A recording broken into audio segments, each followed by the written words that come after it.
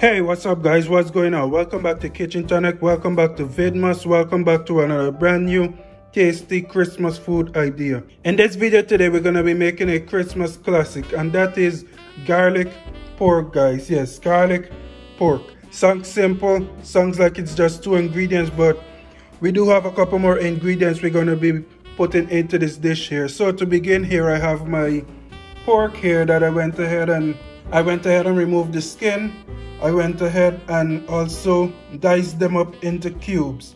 I then went ahead and washed them with some water and lime. So basically I went ahead and did a lot of the heavy lifting and here we are now. So that's what you're gonna need to do if you're gonna do this recipe. Go ahead and remove the skin, go ahead and go ahead and dice your pork here and the kind of pork you're gonna be needing or the part of the pig that you're gonna be needing for this recipe is preferably the pork shoulder. And the weight on the pork shoulder that I have here was 5 pounds, but there was also a big hefty bone in the middle, so I'm sure that amount has been reduced. But we're not going to bicker over semantics. Moving on over here, I have my garlic that we're going to be using for this recipe as well. And over here, I have three heads of garlic or three bulbs of garlic in this bowl here that I went ahead and peeled. Over here I have one tablespoon of salt, five hot spicy scotch bonnet pepper, some fine leaf thyme, and a nice big glass bowl that we're going to be marinating the pork in. Now, you can use plastic or you can use glass and try not to use too many metals when you're marinating this recipe here. And of course, we're going to need some vinegar that we're also going to be using for this recipe here, but we'll get to that when the time arises. Now, to begin, we're gonna jump over to, to my food processor where I'm gonna basically just grind up all of the ingredients you see here into kind of a paste and place it on, a, on my pork here. So let's jump over and start doing that. All right, and here we are at my food processor here. And basically, I'm just gonna add all my ingredients into my processor here and we're just gonna process everything. And I am gonna cut my ingredients up here a bit so that it's easier on the processor to do its job. And that was my fine leaf thyme. I'm gonna go ahead and cut my peppers up and these are some nice hot spicy peppers. And this is a, gonna be a spicy recipe here guys. There's no going around that. I'm gonna go ahead and add my garlic to this processor here now as well.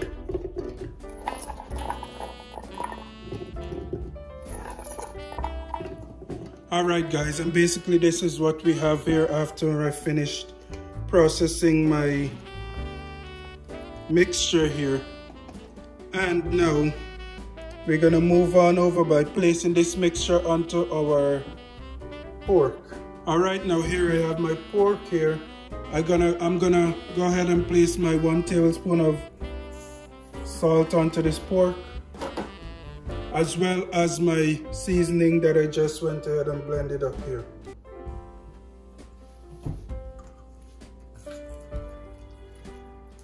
And of course you want to go ahead and mix it in nicely.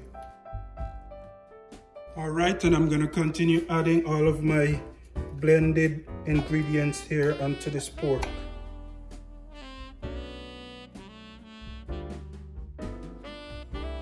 Alright guys, so now that I have all my pork here nice and coated with my garlic seasoning mixture. I'm now going to place some vinegar on my pork here until it covers the top of the pork. Alright guys, and this is what we have here so far. As you can see, I placed enough vinegar in my bowl here to cover the entire top of my meat here or the contents in my bowl. What I'm gonna do now, I'm gonna place a a plastic bag or if you have saran wrap you can go ahead and place that on the top there as well. And what we're to do here we're to create a nice seal for added freshness. You want to create a nice seal on the top of your bowl or your container for nice added freshness guys and I'm also going to place my lid onto this bowl as well. And with that being said, this meat here or this garlic pork here needs to marinate for at least four to five days. Yes, you heard me right, four to five days. So I will be back in five days when it's time to continue with this recipe here.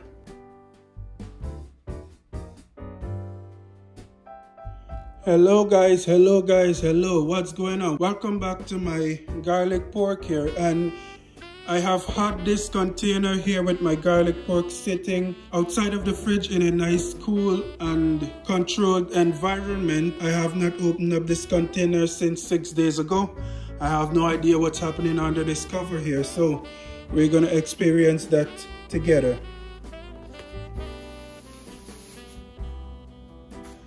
As soon as I remove that cover there, I can already get a nice whiff of my garlic and vinegar here. And as well as the pepper. And would you look at that guys, this is a nice beautiful masterpiece that you're looking at here. Now, like I said, I had this pork here marinating or curing for six days. I soaked it Sunday night, which is the last clip that you see me preparing it and everything. That was a Sunday night. It's now 1.30 p.m. Saturday and we're gonna go get ready to, to finish off this recipe here. So what I'm gonna do now, I'm gonna go ahead and strain out my pork out of this bowl here and then we're just gonna place it into my frying pan which I just placed on my stove and we're not gonna add any oil or any grease or anything to the pan. We're just gonna place the pork to fry in its own fat. Yes, it's frying its own fat. That's why we chose pork shoulder, but you want to be careful in terms of how you're marinating or curing your pork here because it can be a source for bacteria and food poisoning and all that because I know some people like to dilute the vinegar with some water because they don't like the tart flavor that you're going to get from this lovely dish here but when you do that you're playing with the possibility of food poisoning guys and also you can go ahead and add some sugar or whatever you wanted to add in order to help combat that tart vinegary taste that's going to be a result of the vinegar that we've soaked this pork here in. So I'm going to go ahead and strain out my pork out of this vinegar here. Next, the next clip you guys are going to see is a clip of me put placing this pork into my pan that is already on the stove. Okay guys, so here we are over my, at my stove here. I have my pan here nice and hot and I'm going to go ahead and place my pork directly into the pan.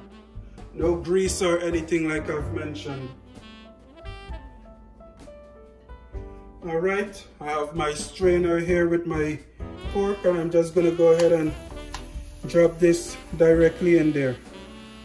Alright guys, you do want to make sure your the area you're making this pork in is well ventilated because you're going to have a nice aroma of vinegar all over your house. You also want to make sure that you're wearing a clothes that you probably don't plan on wearing for a few days because this smell is also going to seep into your clothes. But for now, what I'm going to go ahead and do, I'm going to cover my pan down here. Because it's been soaking for six days, it has absorbed a lot of vinegar. So within the period of me covering it here, it's going to release a lot of the, that vinegar. And then you're going to see a lot of liquid in my pot here and then we're going to allow that liquid to simmer and the pork to finally start frying in its own fat.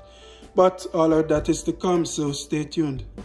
Alright guys, so as you can see here, what I want to show you guys is all that liquid that will be sprung from your pork here.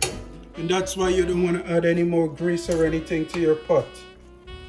As you can see the amount of water that, that sprung from your pork.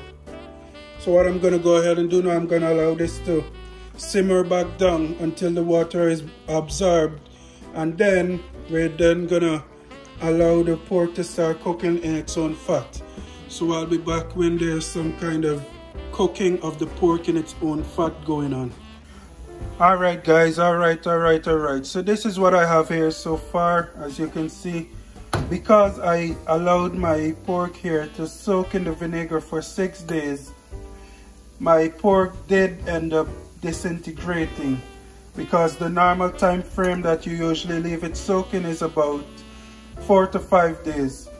But because I added that six day my pork here end up looking like more of pulled garlic pork or pulled pork. But same great taste guys. What I'm gonna do here because my pork is disintegrated this way I'm gonna leave it to cook a little more just to ensure that it's thoroughly cooked because we don't want to be playing with any kind of food poisoning or, or anything. So you do want to make sure that your pork here has a nice color to it as you can see there's a bunch of color coming in on my pork here but I am gonna leave it there to cook which is gonna be around the one hour mark that I have it simmering here and cooking to make sure that it's thoroughly cooked and that there's no and that there's no unwanted experiences by eating this pork here. So with that being said I want to thank you guys for watching and I'll see you guys